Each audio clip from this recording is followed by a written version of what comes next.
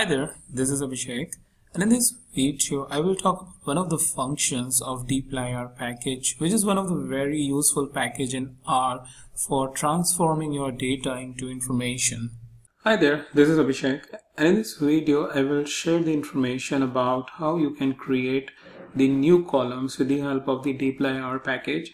So as you are aware I am posting up videos related to dplyr R package so that you can do the faster data manipulation. And in this video I'm covering one of the very very important topic because that's a regular requirement that we want to do some manipulation on existing fields and then create a new field based on our requirement of analysis. So before I move ahead, just a quick information that if you want to get all of this information about my new load or video uploads, then go ahead and subscribe to my channel and get all of this information directly in your inbox. Alright, so for that, uh, creating a new column, we will go into the, first of all, import the library, which is dplyr. And after dplyr, you will going to use the function, which is mutate.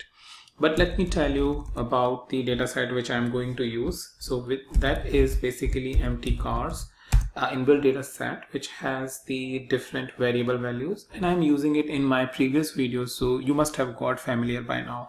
But it is just the different cars information about miles per gallon cylinders whether it is automatic manual how many gear it has well and so forth so very basic idea. Let's say we want to do a very simple arithmetic operations. We want to do let's say multiplication. Uh, and we want to multiply gear by 2 just a very arbitrary requirement not very much uh, realistic but just to show you how you can do that. So for that what you will going to do is you will write mutate. And within the mutate we will first specify the dataset name.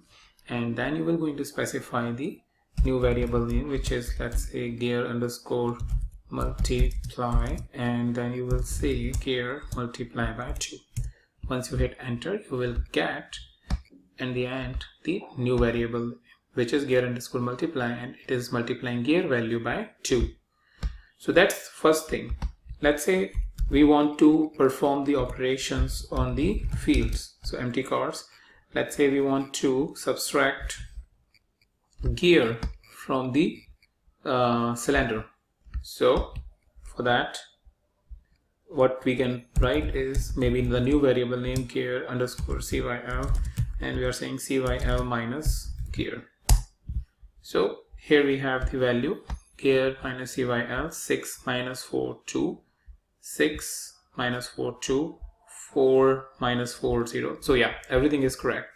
So just wanted to show you how easy it is and how fast it is uh, to perform the operation though it is a very small data set so everything is fast but if you're applying it on your very big data set then also you will observe that uh, comparatively, if you are specifying it with the other base using the basic package or the base package of R, this these operations are really really fast.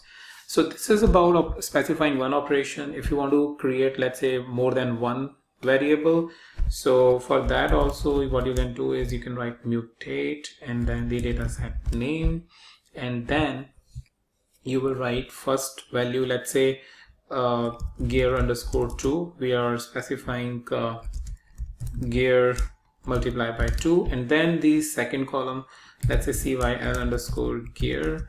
And what we are saying is cyl cyl minus gear. Once I hit enter I have all both the values or both the variables over here.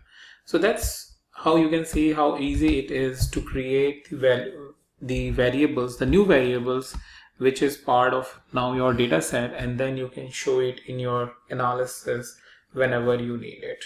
So that's mainly I wanted to show you about mutate. If you want to know more information about it you can put question mark and see click or write mutate. It will show you all the information and all the different parameters which probably I have not covered into the help box. So I suggest that you do that and get the good idea about it